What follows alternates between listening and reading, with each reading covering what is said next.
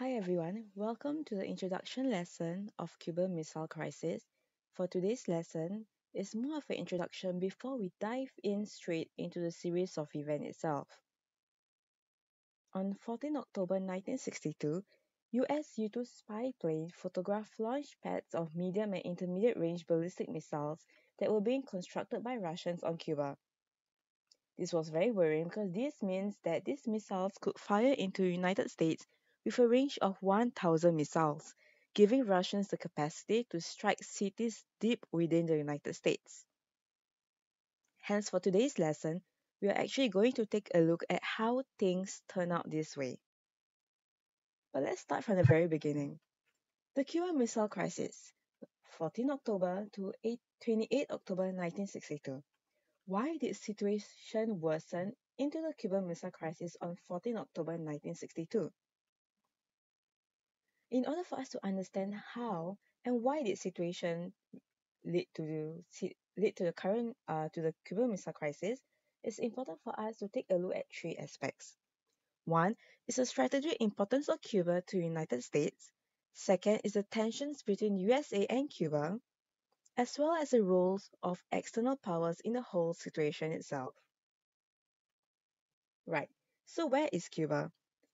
Cuba as you can see in the photo, is the area that is colored in red. It has very close proximity to the United States, which means that it can either be an ally or a threat or a foe. Cuba had strategic and economic importance to the United States. The island was a playground for rich American tourists, and most of Cuba's assets were owned by U.S. corporations. They were just 100 miles away from Florida, and very near to American naval base, the Guantanamo base. Now, as said just now, Cuba has is very important in terms of its proximity to the United States because it's just 180 kilometers away from Florida, which means that Cuba could be a helpful ally or deadly foe, especially because of the fact that it is a gateway to the Caribbean islands. Thus, in the late 1950s to early 1950s, Cuba ended up becoming a deadly foe. As spoken just now, Cuba also has strategic and economic importance to the United States, especially in the sugar and tobacco industries. US corporations owned up to 40% of raw sugar productions. Hence, it was very important to ensure the political, economic, and social stability of Cuba to bring about economic growth of the United States. Now, Cuba was also very important were very important to United States in terms of military itself. As spoken just now, Cuba was just 100 miles off the coast of US Florida, which means that Cuba was in close proximity and was a gateway into the Caribbean islands. US had always viewed Latin America and the Caribbean as its backyard and was dominant power in the region. It was an unwritten rule of United States policy that US communist states must not be allowed to establish themselves so close to America's own borders. Hence, USA had to safeguard its relations with Cuba, fearing that Cuba could be exploited to threaten USA as seen in the Monroe Doctrine, which essentially warned the imperial European powers at the time against interfering in the affairs of newly independent states or potential American territories. At the same time, Cuba had a lot of economic importance to America because there's a lot of US companies that were invested very heavily into Cuba's sugar and tobacco industries. So, for example, US bought a lot of lands to build plantations and factories. So, by 1926, American companies owned 60% of Cuban sugar industry. They also invested heavily into the infrastructure to support the, their economic interests. Thus, America had established a pro-US government in Cuba to ensure that they are always able to support their interests in the island itself. So how will the 1823 Monroe Doctrine actually impact US and Cuba relations? In summary, US was always looking for ways to forge closer ties with its neighbors. The Monroe Doctrine motivated United States to closely monitor the development of the Caribbean islands and also to ensure that the European countries did not get themselves involved or interfere into these countries. So, what tensions already existed between Cuba and the United States? America, there was a lot of American political influence in Cuba. USA frequently intervened to protect its interests in Cuba, which means that no matter what, they will always establish pro-US government that will support US interests, even if it means giving the support to General Batista.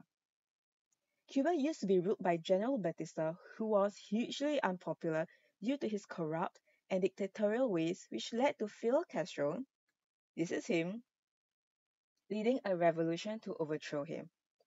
Now, to be honest, initially this revolution wasn't seen as communist in nature, and historians only believe that Castro became communist in 1960 or 1961. But to be honest, some of Castro's actions upset USA's long-standing practices in Cuba, which seemed to confirm Cuba's alignment with USSR later on.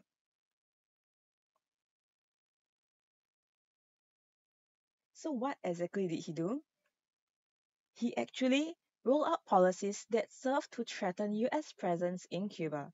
So for example, he sought new market for sugar, especially in Soviet markets.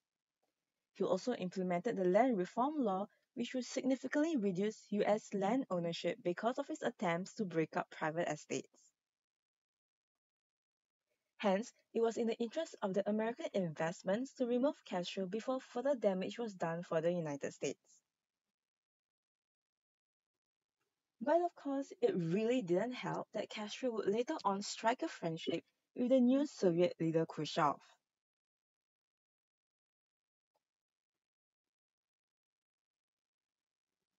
Now at this point, US now increasingly saw Cuba as a communist state at her doorstep and a threat to the entire Western Hemisphere. So what did the US do? At this point, US started retaliating against Cuba's policy. They aimed to weaken Castro's power that resulted in souring the US-Cuba long-standing relationship. It's really like an action-reaction thing, so US pressured its companies not to process Soviet oil Cuba ended up nationalizing the oil refineries. US reduced sugar import, so as a result, Cuba signed trade agreement with Soviet. Cuba later on would nationalize all US companies from August 1960, so in retaliation in November, US placed embargo on US exports to Cuba. Cuba would then later on look to the Soviet Union for help and the Soviet Union stepped in to help. This escalated all the way to January 1961, where US broke off diplomatic ties with Cuba, which was a turning point. Why was it a turning point? Because at this point, US started to attempt to remove Castro from power.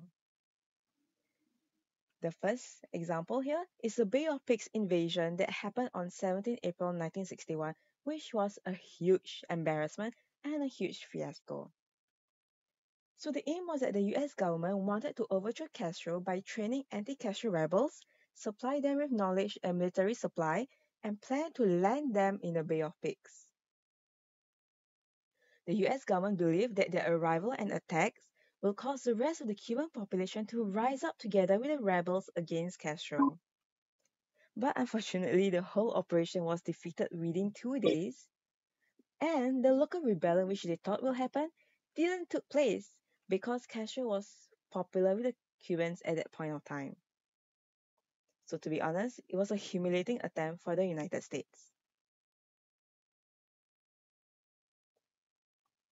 But of course, the United States didn't give up just like that. They tried again via the Operation Mongoose in November 1961, which was a secret program carried out by the CIA agents to remove communism from in Cuba. This is a sign that USA was actually stepping up effort to remove Castro from power. The continued US foreign policy that kept failing was an equal embarrassment on the failure of the US foreign policy. But to be honest, it is also a very clear sign to Cuba that look, USA will continuously try to overthrow Castro away from power which is why Cuba ended up signing a formal alliance with the Soviet Union. Because especially after the failed Bay of Pigs invasion, Castro was convinced that there will be future large-scale invasion by the United States. So the Soviet Union was a good choice because USSR was a rival to the USA and hence they knew that USSR would definitely assist Cuba. Remember the friendship that Castro had with Khrushchev? Now, this further cemented the deal, especially so when Khrushchev had supported Cubans' open criticism of the United States in the UN General Assembly in 1960. So this formalized the Soviet-Cuban relationship which threatened US security significantly because of proximity. Now, let's recap the roles played by external powers in the Cuban Missile Crisis. First is the Americans, is United States who kept trying to remove Castro from power from the Bay of Pigs invasion to the Operation Mongoose because they wanted to reinstate a pro-US government in Cuba that would continue to support US military and economic interests in the region. So in short, they wanted to ensure that this pro-United States government will continue supporting US selfish needs. Of course, the outcome, as we all know it, that it was a huge fiasco. United States was greatly humiliated, and this simply pushed Castro into the arms of USSR. Cuba had a, Cuba had a former alliance with the Soviet Union, and this was a result of the Bay of Pigs invasion and Operation Mongoose. At this point, Castro requested for military aid from USSR. By 1962, there were 42,000 Russian troops on Cuba, and Russians began to build sites for ballistic missiles on the island. Now, the Russians claimed that the construction of missile sites was partly a response to Castro's demands and requests for additional protection. So if you think about it in this sense, the aggressive policy of the United States towards Cuba was a cause for the Cuban Missile Crisis. Castro's appeal to the USSR for protection was rational in view of subsequent American efforts to continuously destabilize his government. Soviet Union was therefore a logical choice for Cuba to seek an alliance against the United States in the current point of time. So in 1961, Castro formally turned communist. Cuba established formal relationship with the communist bloc of countries, and the Caribbean islands therefore became a region of heightened uncertainties for the United States. So, in summary, the reasons why the Cuban Missile Crisis happened had to do with many underlying problems between both USA and own economic investments in Cuba had carried out unfavorable and antagonistic policies against Cuba.